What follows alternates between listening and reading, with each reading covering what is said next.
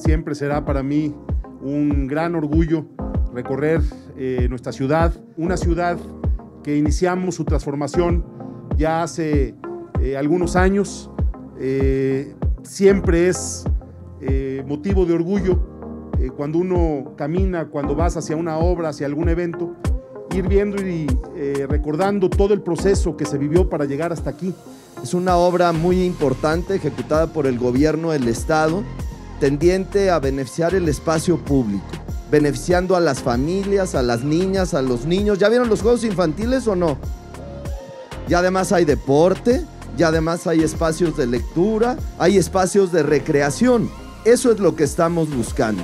Entre todas y entre todos estamos haciendo de Guadalajara un lugar mucho más amable, un lugar que beneficia los espacios públicos, que beneficia también y apoya a la convivencia familiar. Gracias, gobernador, gracias al gobierno del estado, a la CIOP, por esta magnífica obra.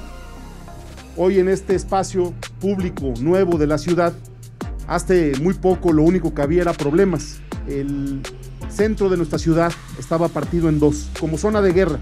Una obra mal planeada, mal ejecutada, que era la línea 3 del tren eléctrico, y no había quien planteara una nueva propuesta porque si ya estaba abierta la avenida, si ya estaba partida la ciudad, lo que nosotros creíamos en aquel tiempo, Pablo en Zapopan, un servidor en Guadalajara, era que era la oportunidad, el momento de hacer una transformación urbana integral, que había que hacer de Paseo Fray Antonio Alcalde una avenida espectacular en la que pudieran convivir los peatones, las bicicletas, los automóviles, el transporte.